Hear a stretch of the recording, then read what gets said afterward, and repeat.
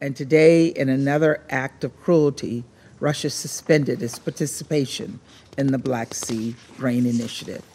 This arrangement has brought stability to global food markets and lowered food prices for all. It has bolstered the World Food Programme's humanitarian work in places like Afghanistan, Somalia, and Yemen.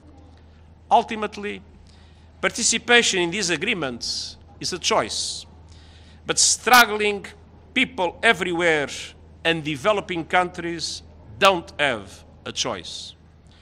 Hundreds of millions of people face hunger, and consumers are confronting a global cost of living crisis, and they will pay the price.